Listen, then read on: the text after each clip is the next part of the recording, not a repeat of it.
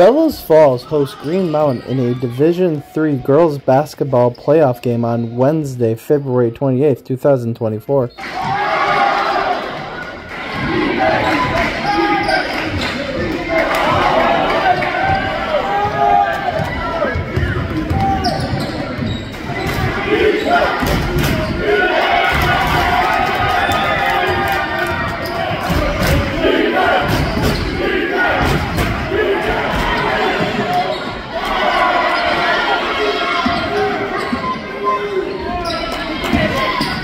Yeah.